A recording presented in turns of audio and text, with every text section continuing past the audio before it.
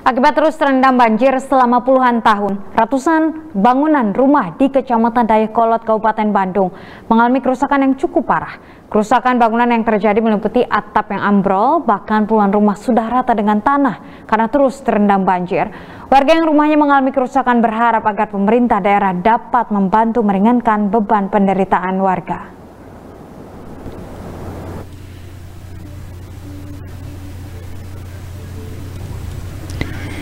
Beginilah kondisi bangunan di Kampung Bojong Asih, Kecamatan Dayeh, Kolot, Kabupaten Bandung yang mengalami kerusakan karena terus terendam banjir tahunan.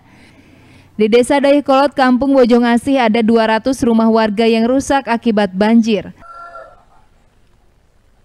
Sedikitnya 30 rumah di kampung tersebut mengalami kerusakan parah dan masih dihuni oleh pemiliknya.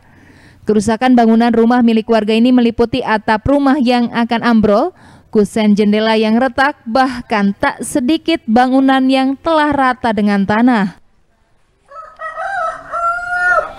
Warga yang masih bertahan tetapi rumahnya telah mengalami kerusakan tak bisa melakukan apa-apa, pasalnya tidak memiliki biaya untuk melakukan perbaikan.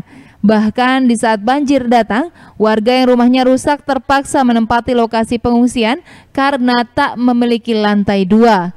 Pak, ini kondisi rumah Bapak udah agak rusak nih. Jadi rusak karena banjir itu sejak kapan sih mulai terendam banjir sih Pak? Sejak lama, udah lama.